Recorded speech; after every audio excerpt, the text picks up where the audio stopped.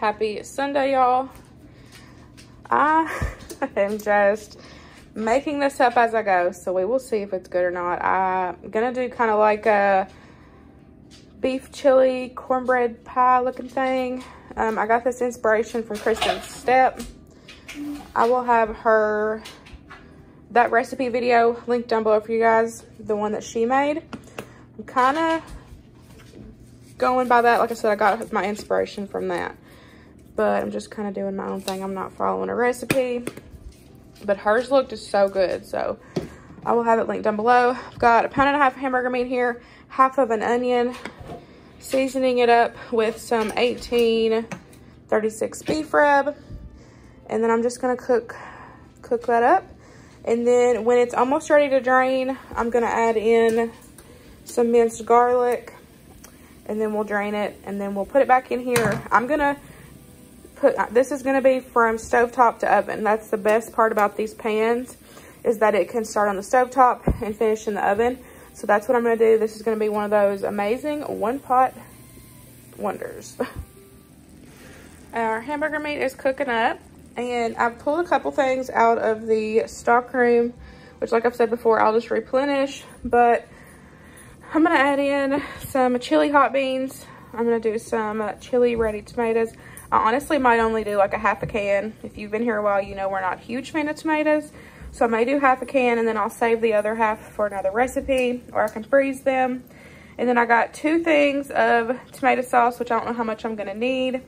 And then I pulled these buttermilk cornbread mixes out of the um, stockroom also to put these on top. I wish I had a can of green chilies because if you take this, add a can of green chilies or even a can of like diced jalapenos and add some cheese and mix it together and put it on top, it is so good.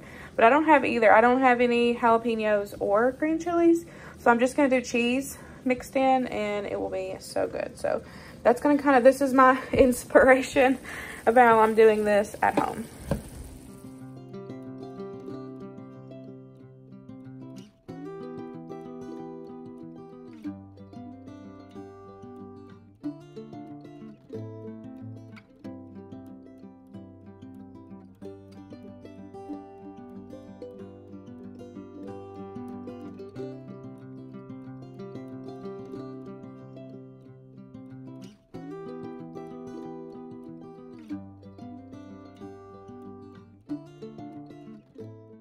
Once I drained the meat, I started adding in the rest of the ingredients. I added in the chili beans.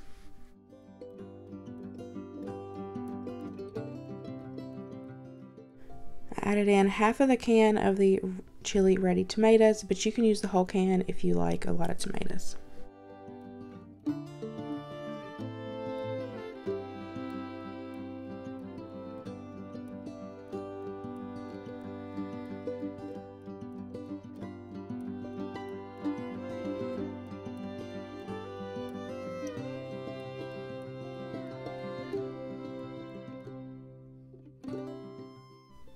Some chili powder.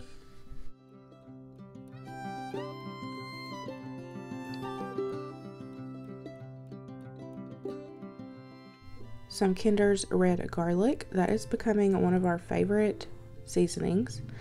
And then I'm going to add in some paprika.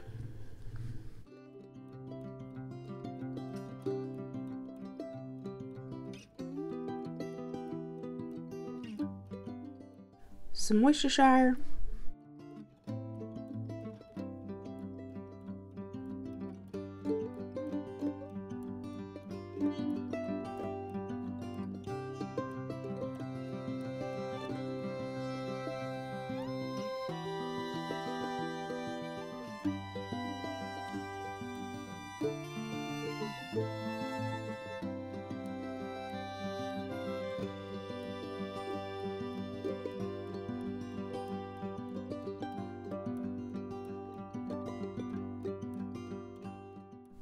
One a little can of tomato sauce.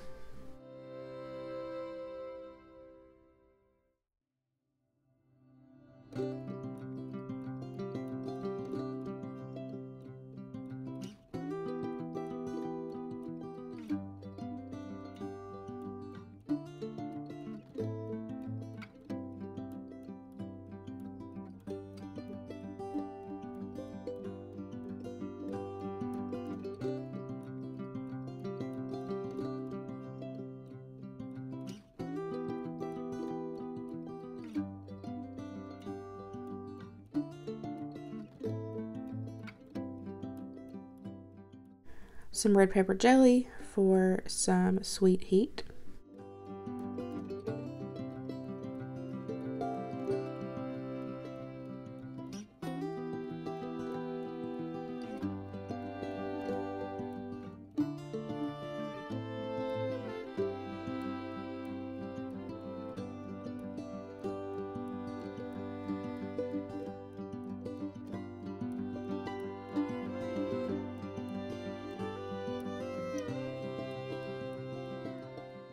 And then for the cornbread, I ended up only using one of those packs of cornbread and I just followed directions on the back of the bag. Also added in a good handful of cheese. And then I'm just pouring that directly over the top. At first, I thought maybe it wouldn't be enough, but once it baked up, it was perfect. So I'm glad I only did one bag of cornbread. So I just baked this at 375 for about 20 25 minutes and y'all, this was really, really good. It was nice and hearty. The chili that I made was very flavorful. We will definitely be making this again in the wintertime.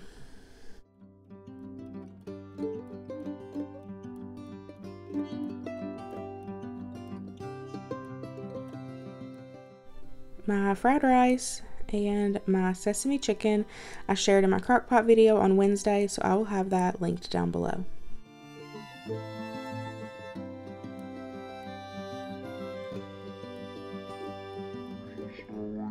Next up is one of our crockpot favorites and it is French onion burgers. This was also in Wednesday's video so I will have that linked down below also.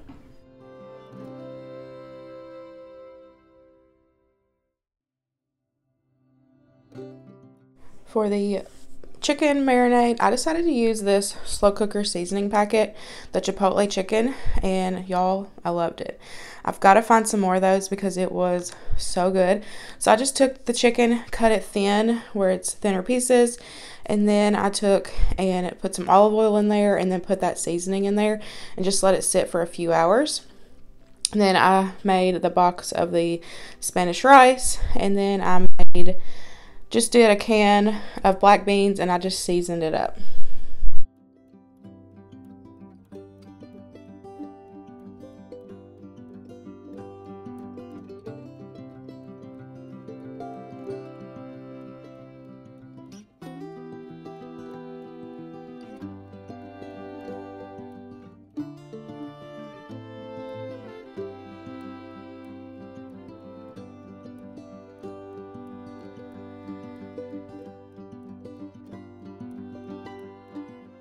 Y'all, this dinner was absolutely amazing. We served it with some extra queso, some soft shell tortillas, chips, and salsa. I highly recommend that chicken flavoring that I did. I know it's for technically a crock pot recipe, but I will definitely be looking for it and using it again as a marinade because that chicken was bomb.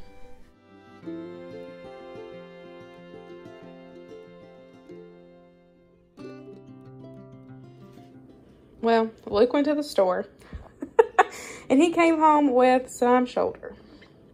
Even though we have a massive pack of it in the freezer, he said he wanted it now. Sometimes he does that. Sometimes he'll go to the store and just pick something out and he'll be like, this sounds good. So we have got a big, well, decent size. I think there's like seven pieces here of shoulder. So um, he's getting the grill going. He will season that up. I'll share that in a little bit when he seasons it up. But to go with it, we're going to do some baked potatoes. I just washed four really, they're like medium sized potatoes. Washed them really good. And then I put some all, or some regular oil on them. And I put some of this coarse salt on them. And then I'm just going to put these in the air fryer. They're really good in the air fryer. Just gonna add them in to my basket. It's dirty, y'all. I gotta wash it. But add it in here. And then we're just gonna cook them at 400. I'm gonna start them at 20 minutes and kind of check and see where we're at after 20 minutes. See how much more time it needs. Campfire steak seasoning.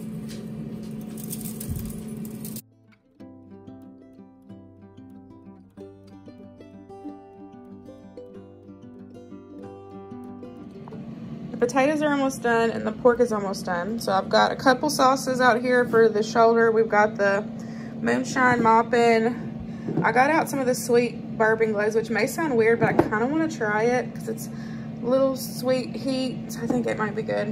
And then there's a little bit of barbecue left. And then got some cheese, some bacon, salt, pepper, butter, and I like ranch on my baked potato. Honestly, I like ranch and A1, but we're out of A1, so ranch will have to do. But I like ranch on my potato, and so we got all that for those. The potatoes are almost done. They were in there about 35 minutes, so they're about done. Then we can eat.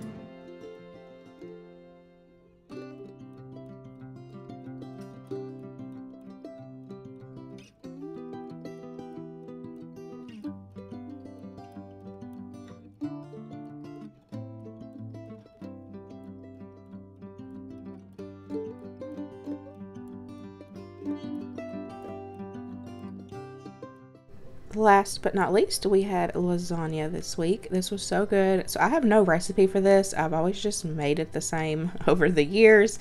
I use one container of ricotta and one container of cottage cheese. I add in some mozzarella cheese, parmesan cheese, Italian seasoning, and garlic powder. I just mix all that together for my cheese mixture.